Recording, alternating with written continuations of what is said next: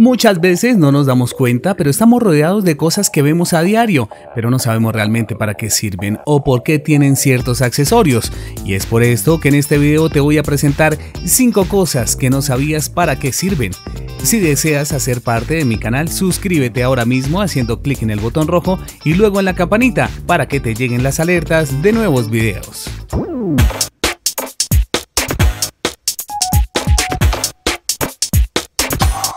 Número 5. ¿Para qué sirve el agujero de la tapa de los bolígrafos Bic? Todos los días miles de bolígrafos Bic son vendidos en todo el mundo. Son un completo éxito, pues si piensas bien, en tu casa, en la oficina, donde quiera que vayas, siempre hay uno a la mano. Su creador fue Marcel Beach en 1950, quien compró la licencia a los hermanos Biro, inventores del bolígrafo, y luego creó el Bic Cristal, Además, resolvió algunas fallas implícitas en el diseño de los Biro, dando inicio a una producción en masa de muy bajo costo. Él fue el responsable de que al extremo de la mina se dejara un agujero, fundamental para igualar la presión atmosférica dentro y fuera del esfero, evitando por ejemplo que en un avión pudiera llegar a explotar y a derramarse la tinta. Pero Vic también tiene otro agujero enigmático en su haber. En el año 1991 a la pluma también se integró un agujero en la tapa, cuya finalidad no era la de aumentar o mejorar el rendimiento del producto, sino la seguridad de sus usuarios. Las tapas poseen un agujero en la punta en cumplimiento de una norma de seguridad internacional que pretende evitar el riesgo de que los niños y también los adultos desprevenidos que las mastican se lleguen a sofocar con esta en caso de ser ingerida. Así que si te gusta masticar la tapa de tu bolígrafo, puedes hacerlo con tranquilidad. Número 4. ¿Qué utilidad tiene el misterioso agujero de las ventanillas de los aviones? Con los años los viajes en avión son cada vez más frecuentes, esto gracias a la aparición de las líneas de bajo costo, lo que ha hecho que muchos podamos acceder con facilidad a este medio de transporte y poder viajar, a pesar de que en ocasiones la calidad del servicio sea muy mala. Pero independientemente de esto, la seguridad tiene que ser la misma, tanto en los low cost como en las aerolíneas de primera clase. Bueno, y hablando de seguridad en el avión, seguramente si te has montado en uno y te ha tocado la ventanilla, debes haber notado que esta tiene un agujero pequeñito en la parte inferior y en ese momento te habrás preguntado si sirve para algo. La ventana de un avión se compone de dos láminas y dos marcos para sujetarlas. La lámina exterior es más gruesa y resistente. Hay una segunda lámina que deja un espacio que crea una cámara de aire, espacio encargado de regular la presión entre el interior y el exterior. Y allí es que entra a funcionar el pequeño agujero que es fundamental para regular dicha presión. Evita la condensación, es decir, que los cristales se empañen y en caso de que la ventana exterior se rompiera, disminuye la velocidad de despresurización del interior del avión para poder aterrizar a salvo. Algo realmente increíble con un detalle que pasa desapercibido para muchos. Número 3. Los agujeros laterales de las All Stars no son puntos de ventilación. Durante décadas muchos habían pensado que estos agujeros laterales estaban hechos para la ventilación de los pies, o incluso otros solo imaginaron que era parte de la decoración de estos tenis deportivos.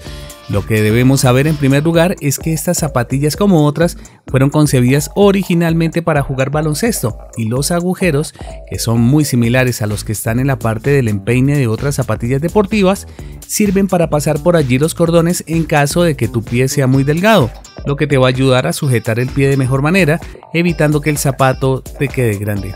Si has tenido Converse, no olvides mencionarlo. Número 2. ¿Qué es la protuberancia que hay en muchos cables? Esta protuberancia se puede encontrar en el cable de alimentación de algunos portátiles o en el cable de otros dispositivos electrónicos. Se trata de una especie de bulto en forma de cilindro que sobresale en los extremos de algunos cables que usamos a menudo y de pronto alguna vez nos habremos preguntado para qué sirve esto. Algunos podrían llegar a pensar que es una cuestión de diseño o de peso extra para mantener el cable en una misma posición, pero realmente la función principal de este artefacto es vital para el funcionamiento correcto del cable. Su nombre es núcleo de ferrita y está compuesto por hierro, magnesio y zinc, y su función principal es la de actuar como filtro de todas las vibraciones y señales que producen los ordenadores para evitar que se produzca alguna interferencia en el equipo y en los equipos que estén cerca.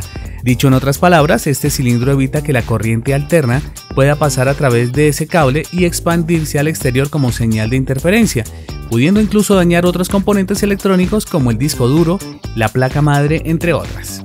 Número 1. Todos en algún momento de nuestras vidas nos hemos comido un bombombún, una yogueta, un pirulito o un chupiplum. Lo cierto es que al terminar una de estas chupetas podemos ver este extraño agujero que muchos se preguntan para qué sirve y acá te tengo la respuesta.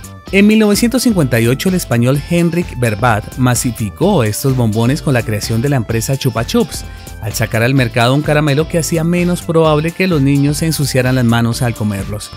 La razón principal de la existencia de este pequeño agujero en el palo de la chupeta es asegurar que el dulce quede bien sujeto por dentro y por fuera. Al poner el caramelo en el palito, el agujero debe estar hacia arriba, entrando el dulce cuando aún está hablando en el hueco, formando una especie de gancho que lo asegura evitando que se caiga fácilmente.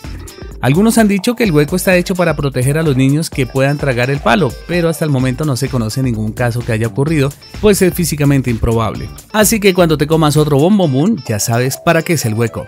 Espero que te haya gustado el video y dejes todas tus opiniones en la caja de comentarios.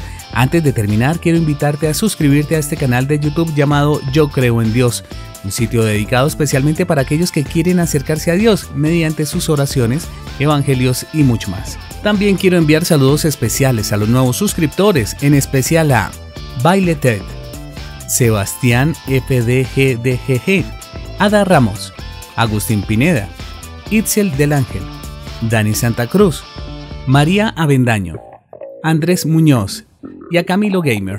Un gran abrazo de bienvenida para todos. Gracias por estar conectados con Noticias de Actualidad Tops y no te pierdas los próximos videos. Nos vemos a la próxima.